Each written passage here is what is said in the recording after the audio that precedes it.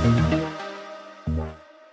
should take it as a compliment that I'm talking to everyone here but you. But you. But you.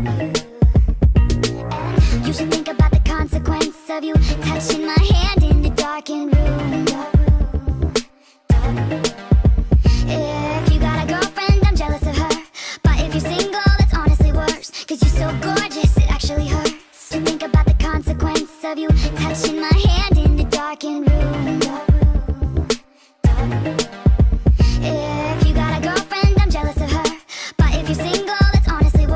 Cause you're so good.